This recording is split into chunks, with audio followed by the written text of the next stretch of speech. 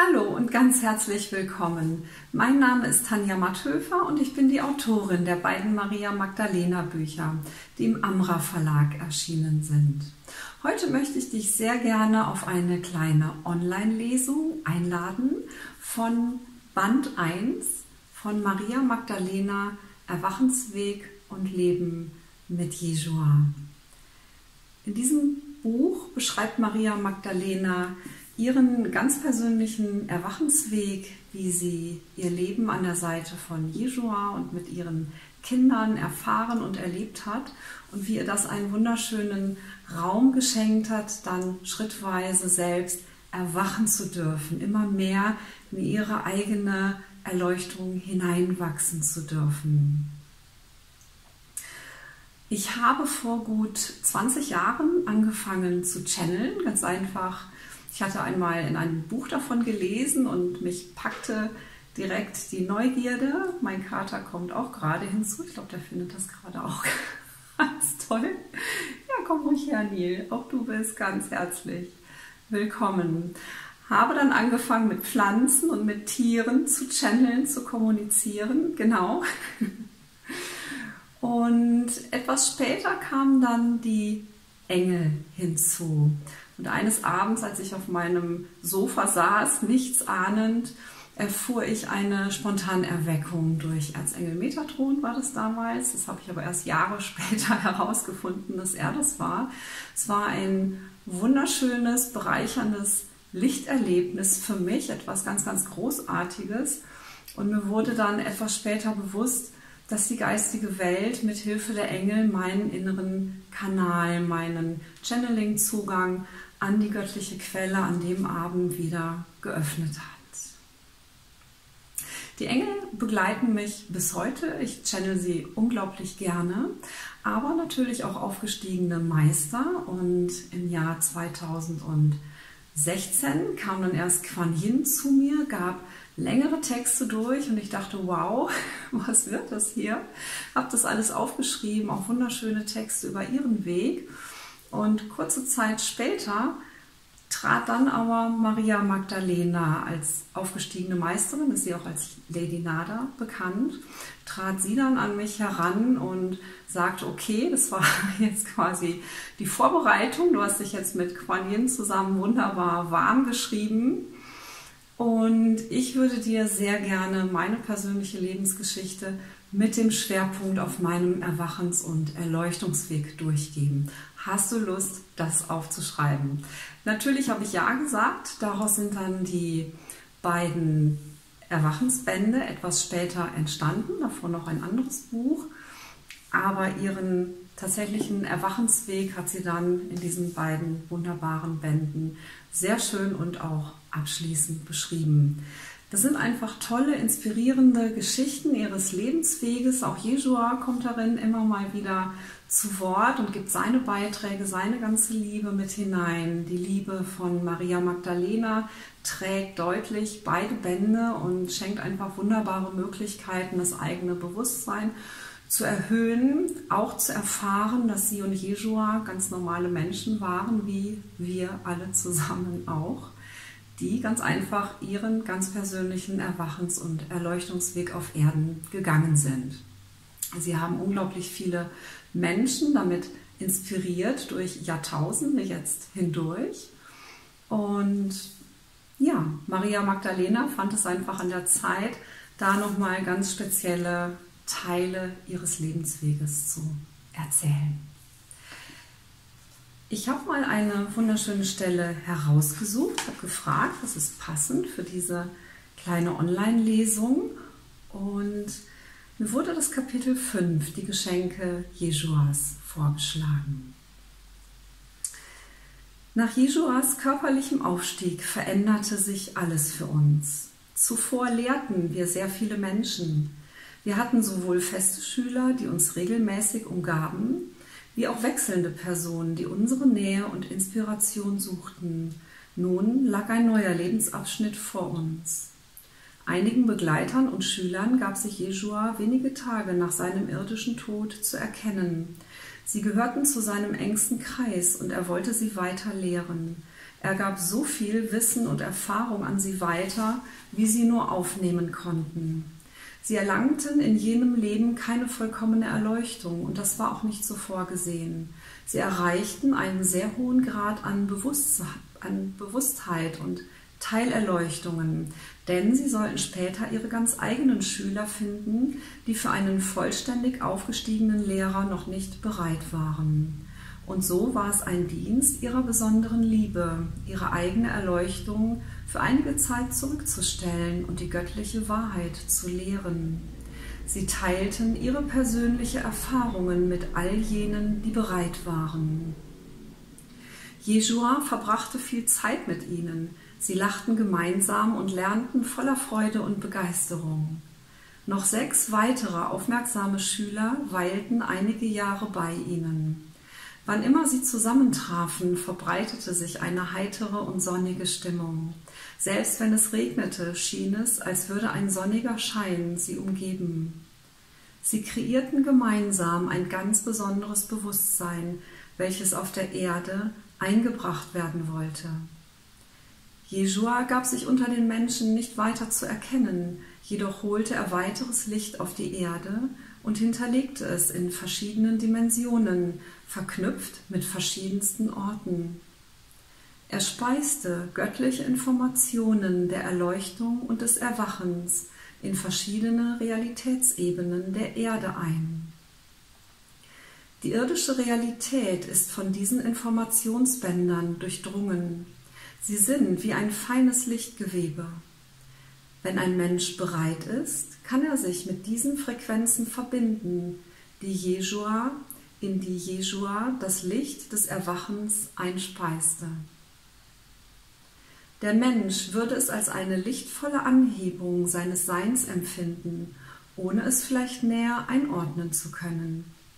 Je nach Bewusstseinsgrad würden sich diese aufgenommenen Informationen allmählich entfalten und ihn sanft in weitere Bewusstseinsöffnungen und Erfahrungen hineinführen. Die Menschen würden an bestimmten Orten, die mit diesen Informationen verbunden waren, einfach von diesem Licht berührt, wenn ihre Seelenimpulse sie dorthin zögen. Doch ist es auch möglich, sich auf diese Frequenzbänder einzustimmen und die Informationen auch unabhängig von den örtlichen Ankerpunkten aufzunehmen. Das Licht dieser besonderen Bänder, die fein in das Gewebe der Realität eingewebt sind, leuchtet durch diese Zeilen hindurch, und Jeshua verbrachte viel Zeit damit, sie zu füllen. Sie sind ein Teil seines Erbes auf Erden, da sich sein Bewusstsein in der Zeitlosigkeit befand, konnte er die Menschen erblicken, die hiermit in Kontakt kommen würden. Er sah das zukünftige Potenzial der Erde und er wusste, dass Menschen kommen würden, um diese Impulse zu empfangen. Zeit und Raum existieren auf diesen Ebenen nicht, denn das geöffnete Bewusstsein blickt frei durch alles hindurch. Wenn du möchtest, stimme dich auf diese Frequenzbänder ein und es wird vielleicht so sein, als schautest du direkt in sein liebevolles, weises Gesicht. Empfange die dort hinterlegten Lichtinformationen. Atme sie einfach ein und lasse ihre Schwingungen in deinen Zellen wirken. Kommuniziere mit Jeshua. Fühle dich frei, denn diese Informationen wurden für die Entfaltung der Liebe und Freiheit auf Erden hinterlegt. Erkennen der Selbstliebe. Als wir schließlich weiterzogen und das Land auch öfter verließen, brach ich den Kontakt zu meinen Schülerinnen und Schülern eine Zeit lang ab. Ich verspürte zunächst keinen weiteren Impuls mehr zu lehren. Jetzt ging es um unsere Familie und meinen weiteren Erwachensweg. In meinem Aufstiegsprozess verlor selbst meine ursprüngliche Lebensaufgabe an Bedeutung. Sie hatte ihren Zweck für mich bereits erfüllt. Meine ganze Ausrichtung galt jetzt nur noch der Rückverbindung mit meinem göttlichen Sein. Mein Wissen würde ich später an meine Kinder wie auch an einige Schüler meiner direkten Umgebung weitergeben. Die Frauen nahmen die Lehren tief in ihrem Herzen mit sich und trugen den Wert ihrer weiblichen Kraft durch die Zeiten hindurch, damit er nicht in Vergessenheit geraten würde. Sie eröffneten Wege der Heilung für eine göttlich inspirierte Zukunft. In einer Zeit, in der Frauen als geringwertig betrachtet wurden und diesen Glauben tief in sich verankert hatten, konnte mein geheiltes Herz ihnen den Weg in ein neues Bewusstsein zeigen. Sie nahmen tiefes Heilwissen mit sich und erschufen daraus neue Wege. Ich hatte stets mit großer Hingabe gewirkt und viel über Liebe und Heilung gelehrt. Immer mehr lehrte ich mich einem Punkt zu erkennen, dass ich mich dabei selbst oft außer Acht gelassen hatte. Die anderen waren mir stets wichtiger und dahinter konnte ich mich selbst kaum mehr wahrnehmen. Es war, als würde ich mich selbst ständig ein Stückchen verlassen, wenn ich mich zu sehr mit anderen Menschen beschäftigte. Traurigkeit stieg in mir auf, ich erkannte immer mehr, wie wenig ich mir selbst doch anscheinend bedeutete. Doch war das die Wahrheit? Ich spürte nach. Ich lenkte mich einfach zu sehr von mir selbst ab. Immer wieder stellte ich mich zurück und dachte gar nicht mehr an meine Bedürfnisse. Mir schien es auch an nichts zu mangeln, denn eine Zeit lang nahm ich mich selbst kaum noch wahr. Jetzt wurde es mir bewusst wie noch nie. Ich wandte mich an Jesua und er blickte mich an. Es ist an der Zeit, es zu erkennen, mein Liebes. Ach könntest du die Schönheit deines Wesens nur so sehr erkennen und lieben, wie ich es vermag. Er lächelte liebevoll. Die Natur der Göttlichkeit ist reine Liebe. Sie ist aus reiner Liebe geboren und kann nicht anders, als vollkommene Liebe zu sein. Erkenne, dass auch du reine Liebe bist. Seine Worte berührten mich tief. Nach einer stillen Weile fuhr Jesua fort. Als Menschen vermögen wir zu erleben, wie sich einzelne Aspekte der Liebe außerhalb der Vollkommenheit darstellen. Wir nehmen einzelne Facetten der Liebe aus der Vollkommenheit heraus und bringen sie mit in unsere Leben hinein, um sie zu erfahren. Wir können die Abwesenheit von Liebe erfahren und ihre Anwesenheit in den unterschiedlichsten Erscheinungsformen. In deinem Erwachen ist es so wichtig, dass du dieses erkennst. Die wahre Liebe, die du bist, klopft an deine Türe. Gewähre ihr Einlass, mein Liebes, und erkenne, dass du reine Liebe bist. Tränen stiegen mir in die Augen. In den Momenten, in denen er sprach, stieg tiefstes Mitgefühl in mir auf. Ich konnte mich in diesen Augenblicken in meiner wahren Natur der Liebe wahrnehmen. Seine Ausstrahlung nahm mich einfach mit hinein, denn er hatte diesen Zugang, diesen Zustand längst für sich verwirklicht. Doch ich konnte mir dieses tiefe Erkennen noch nicht aus eigener Kraft erhalten. Ging ich aus unserer Begegnung heraus, so zogen sich wieder feine Schleier der Trennung vor mein Gefühl der umfassenden Selbstliebe. Doch ich hatte sie erschaut, ich hatte sie wahrgenommen, wie wunderschön sie war, welche Hochgefühle diese Einblicke erzeugten. Ich entschloss mich, mehr davon zu erfahren. Ich nahm die Erinnerung an dieses wundervolle Gefühl tief in meinem Herzen auf. Diese Entscheidung veränderte etwas. Sie war nun kein oberflächlicher Gedanke mehr, sondern das tiefe Gefühl eines Herzenswunsches. Ich spürte, wie sich durch diese Entscheidung eine neue Tür in mir öffnete. Sie würde mich in eine noch tiefere Erfahrung meiner Selbstliebe geleiten. Ja, vielleicht kannst du das spüren, dass wirklich in, in jedem Satz, in jeder Zeile schwingt so viel Liebe und auch Erwachen mit in diesen beiden wundervollen Bänden. Ich möchte dich zum Abschluss dieser kleinen Lesung jetzt noch in eine der Heilmeditationen mitnehmen, die hier integriert sind. Es sind mehrere in das Buch eingearbeitet. Das war der geistigen Welt sehr wichtig, dass man ja, nach den Kapiteln durch diese Heilmeditation für sich selbst einfach nochmal tiefer hineinfühlen kann und die Energien und die Öffnungen, die beim Lesen geschehen können, einfach nochmal tiefer integrieren kann. Ja, und wenn du magst, dann mach es dir jetzt ganz bequem im Sitzen oder im Liegen und dann kannst du deine Augen auch schließen.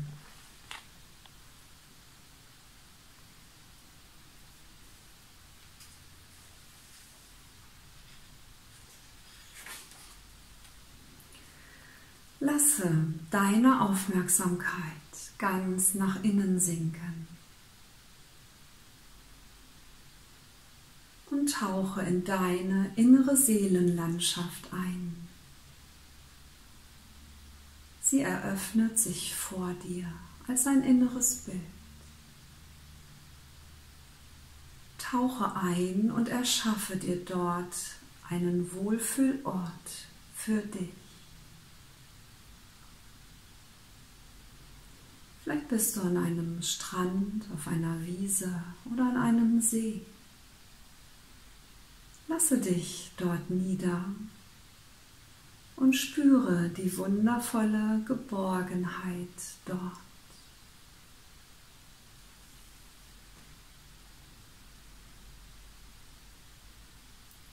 Lasse alle äußeren Eindrücke los, du bist ganz bei dir. Dein göttliches Selbst stellt sich nun wie ein lichter Engel vor dich und sendet dir seine Liebe. Atme mit jedem Atemzug die Liebe deiner Göttlichkeit von vorne durch dein Herzchakra ein. Fühle die wundervolle Schwingung sanfter Liebe und lasse sie durch deinen ganzen Körper fließen.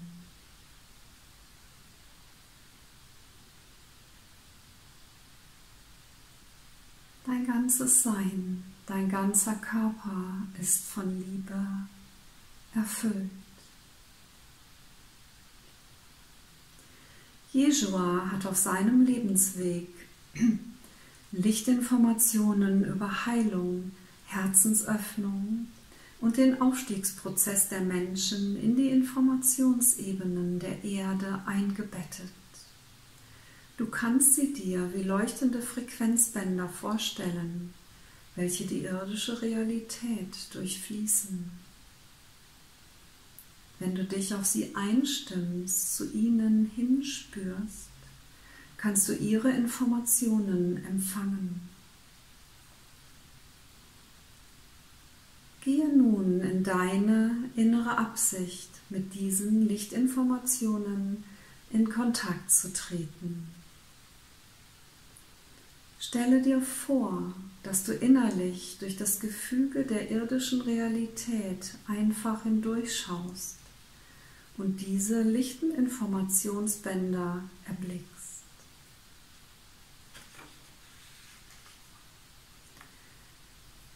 Sie schwingen harmonisch und im Einklang mit der göttlichen Wirklichkeit. Dein Herzenswunsch verbindet dich mit ihnen.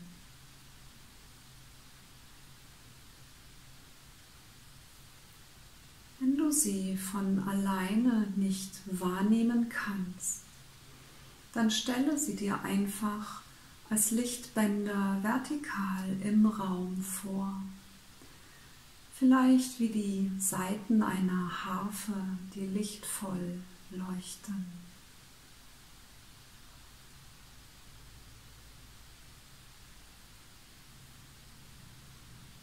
Sie können senkrecht oder auch waagerecht verlaufen. Vertraue einfach allen inneren Bildern und Wahrnehmungen, die ganz von alleine zu dir fließen. Und wenn dort nichts ist, dann stelle sie dir bitte einfach vor.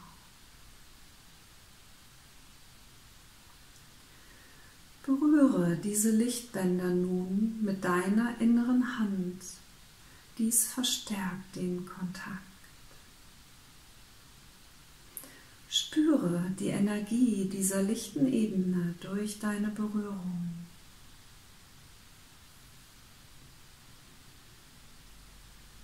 Bitte darum, dass die für dich passenden Informationen aus diesen Lichtbändern nun zu dir fließen und empfange einen wohltuenden Strom aus Energie und Lichtinformationen aus diesen Bändern.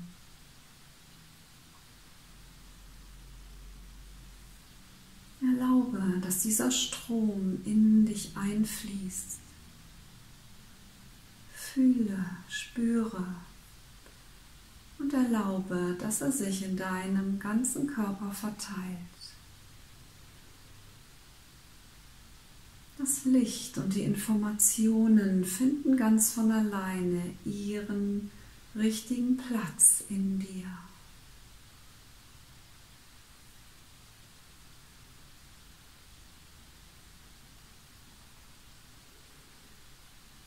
Empfange diesen Strom, solange er fließen möchte.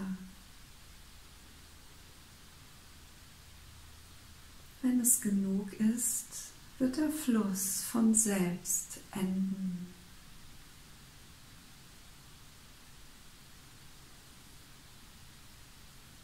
Berühre diese Frequenzbänder im Raum und spüre, die Lichtinformationen als Strom in dich hineinfließen.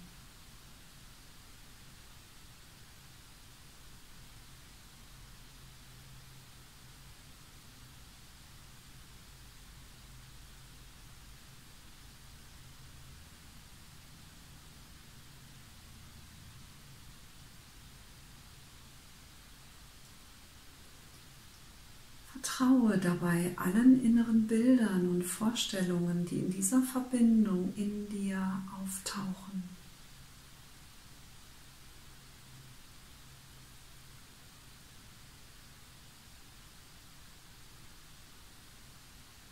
Vielleicht ist dieser Strom von Gefühlen von Liebe, Freude oder anderem verbunden.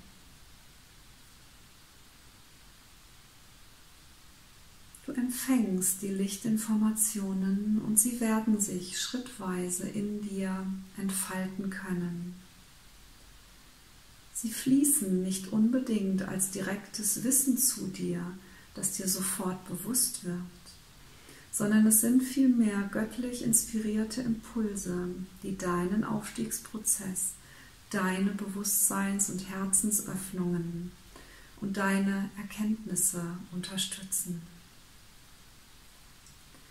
Vielleicht werden dir Teile dieser Informationen direkt bewusst, vielleicht auch nicht, sondern erst später, aber dies spielt auch keine Rolle. Vielleicht bemerkst du einige Stunden, Tage oder Monate später Veränderungen.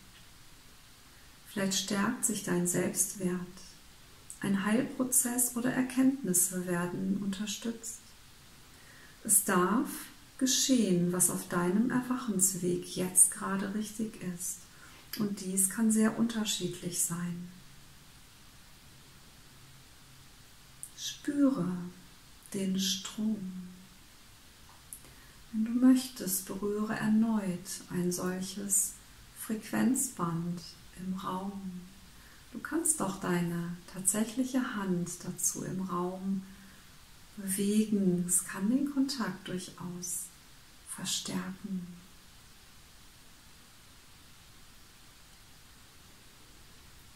Wenn du ein solches Frequenzband berührst, dann fließt seine Information und seine Energie zu dir.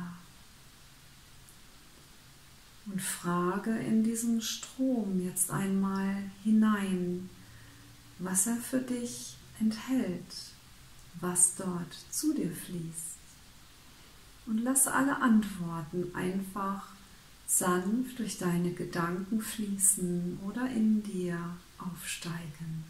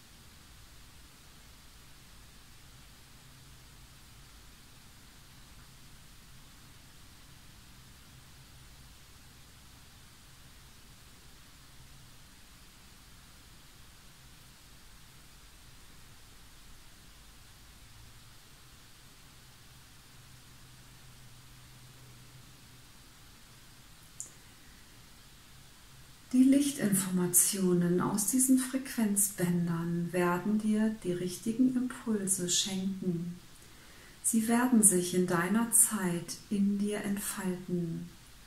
Empfange sie und lasse sie einfach in dir wirken. Du bist unendlich geliebt.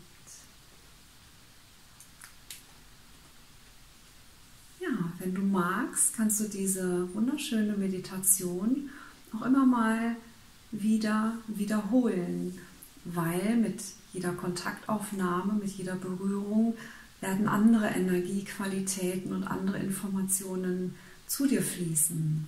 Sie fördern dann deine Entwicklung, schieben deine Entwicklung ein Stückchen an, können zu Erkenntnissen, Veränderungen, auf jeden Fall auch zu Schwingungserhöhungen natürlich führen. Das tun sie auch. Sie erhöhen deine Schwingungen.